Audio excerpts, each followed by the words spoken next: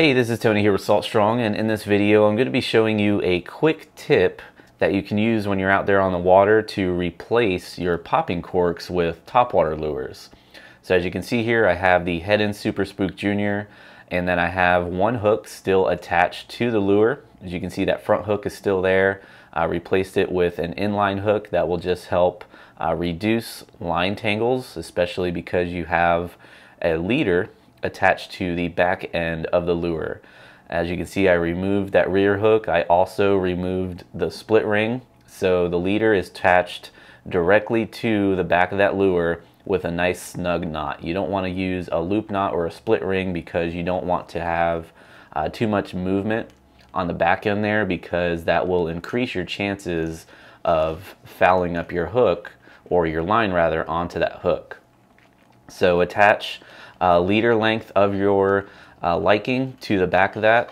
Now I usually go with about a foot, uh, foot and a half to close to two feet depending on how deep I'm fishing, but I don't want to go too long because that will uh, hinder your ability to cast. Now the lure that I have rigged up on the back end or the leader or the business end as I like to call it, this is just a Chase Baits Flick Prawn uh, shrimp imitation great type of lure to use with a popping cork or in this case popping cork substitute which is the topwater lure and then I do have a loop knot attaching the leader to uh, that lure just because I want that lure to be moving around uh, as much as possible when I am retrieving uh, this setup. So as you can see you are basically working two lures. You have two lures in the water because you can have fish sometimes they will hit uh, the top water or they may strike it short and then it will follow up with a soft plastic and they'll typically go after that soft plastic when they uh, short strike the top water. Now on the front end of the top water, you're gonna notice I have a small section of fluorocarbon here.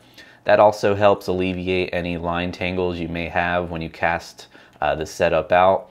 You have a nice stiff piece of fluorocarbon up front there. You can go with a thicker piece than your leader material that will just uh, keep it a lot more stiffer and reduce line tangles much more effectively than very thin or flexible mono or fluorocarbon. Now I only use about five to six inches, not too long because you don't want to take away uh, from the length that you can put on the back end where your lure is going to be.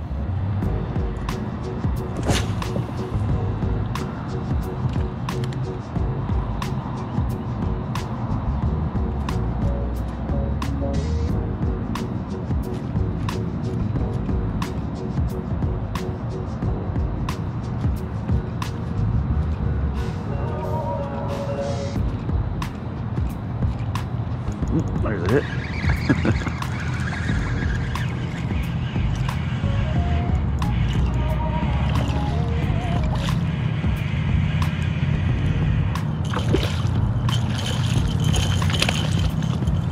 There is a trout.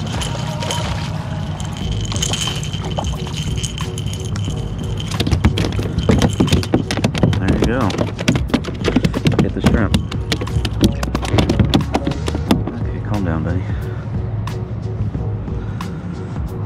Trout on that setup.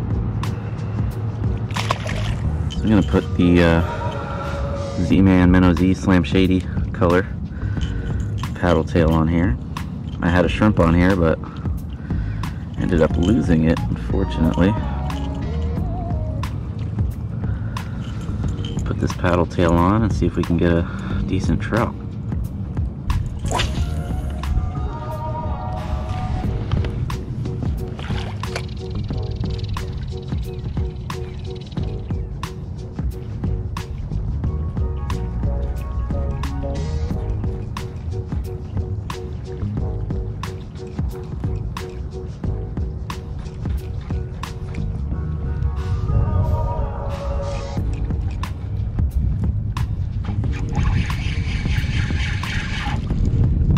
There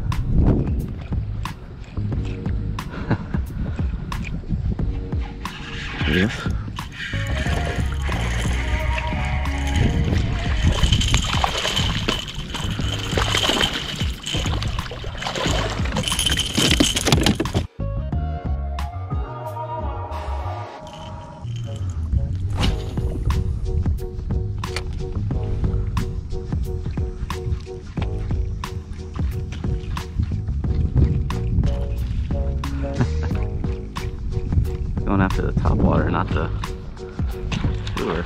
There we go.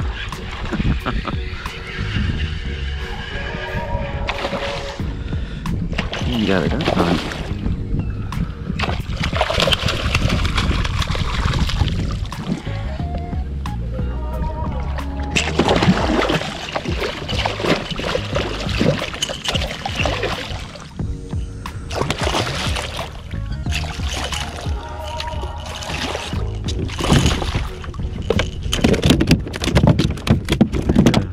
Now when you're retrieving the setup, it's basically the same thing you would do if you were using a popping cork. You would do a few quick pops and then let your lure settle back down, few quick pops and just repeat that process.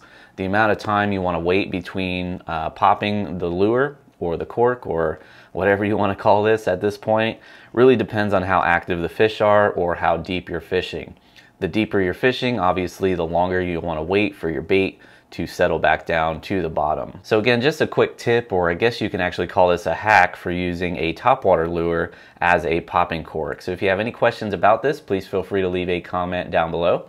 Also, if you have some experience actually doing this and want to share that uh, experience with us, definitely let us know down below. Until then, thanks for watching and I'll see you on the next video.